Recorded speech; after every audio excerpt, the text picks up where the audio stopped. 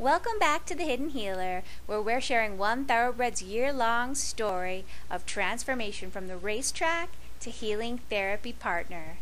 Here I am with Galaxy, a five year old thoroughbred who's just a couple weeks off the track. And what I wanted to talk about today is how to build your bond with your horse by just sharing time being together instead of doing.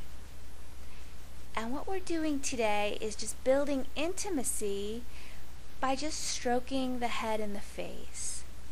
And so I invite you to try this out with your horse and see what they enjoy. Not all horses will enjoy it, and some have to learn uh, to enjoy it over time. But just stand with your horse, breathe with your horse, connect with their heart, and then just slowly and gently just start stroking them around the head and the neck and see what they seem to enjoy the most. You can see there that he was, um, he, I had my hand over his nostrils and he was breathing in my, my hand energy for a while and then he began licking and chewing and shifting some energy.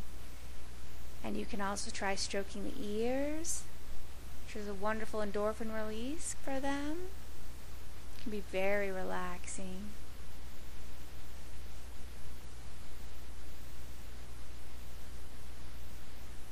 And you can also try stroking the eye very gently. Can also have just a very peaceful reaction. Here's some licking and chewing from him on that too.